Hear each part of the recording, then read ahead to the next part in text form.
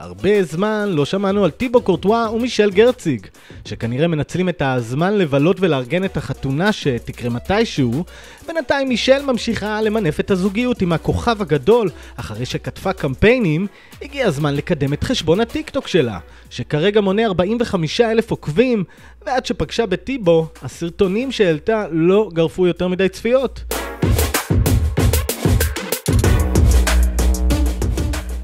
לפני שבוע הבינה מישל שבשביל צפיות צריך את טיבו, וזה בדיוק מה שעשתה הדוגמנית. כשהעלתה שני סרטוני טיק טוק עם השוער המפורסם. בראשון טיבו. מנסה את אתגר האצבעות,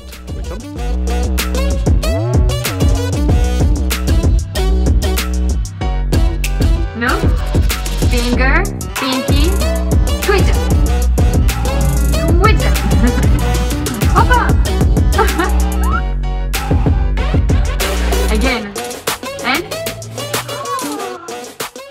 סרטון שגרף כבר 4 מיליון צפיות.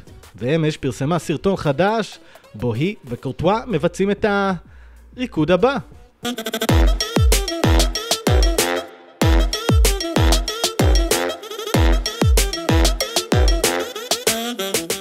יפה מאוד. וכפי שאמרתי, 45 אלף עוקבים יש למישל כרגע, אבל אם תתמיד עם סרטוני טיבו, כנראה שיהיו לה מאות אלפי עוקבים. נעקוב.